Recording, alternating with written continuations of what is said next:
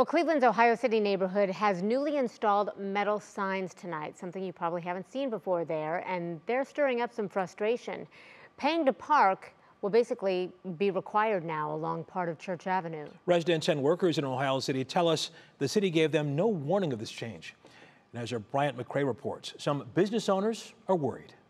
I hope they're not just giving tickets right away because I feel like there's a lot of people that are going to miss um, seeing those signs. For the past two years, Ohio City business owner Beth Keenan has parked her car on Church Avenue for free. But as the saying goes, all good things must come to an end.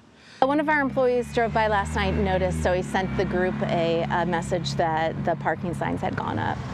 Tuesday, City of Cleveland workers out marking the sidewalk on Church Avenue between West 28th and 29th Street, preparing to place these signs up, requiring people to pay for parking. Is a complete shock to me. I had no idea that they were doing that.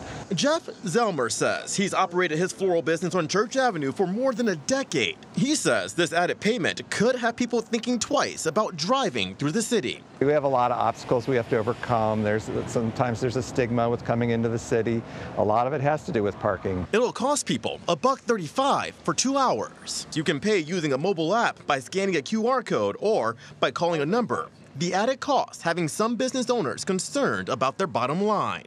I do think it will, you know, hurt us in being able to make, you know, profits because people aren't going to be able to find the parking for free that they, they really need. People around the area having their own thoughts about the sudden change. This has turned into a very popular area, and I'm sure they're going to make a lot of money off of people parking, paying to park.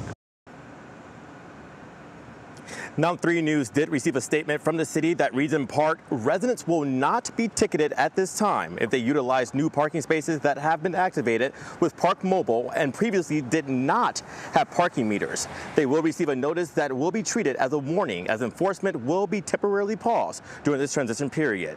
The city says they'll, they'll release more information as they get closer to implementing new parking measures on, the, on excuse me, on Church Avenue. Russ, Christy?